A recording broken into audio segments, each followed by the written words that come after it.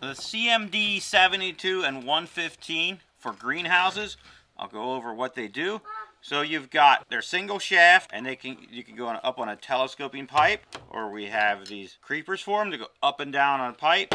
This one is shown with it loose. This is with it fastened. We also have adapters for different size pipes. These are 1.3 inch. If you're on the sidewall, we've got cord guide. This goes up and up and down.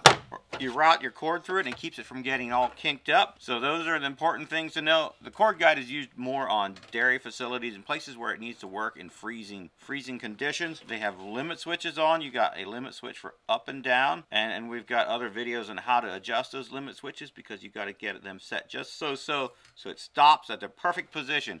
And you do that with these limit switches. One one limit for up and the other for down. The other thing, these are low voltage so they're safe to work on. Um, you should still turn the off before you work on them, but it's low voltage and we have all the matching controllers to make it really easy just to land your motor wires in there and have your greenhouse automated. So there, now you understand the overall concepts for the CMD 72 and 150. The 150 is stronger and can do a bigger cur curtain or vent.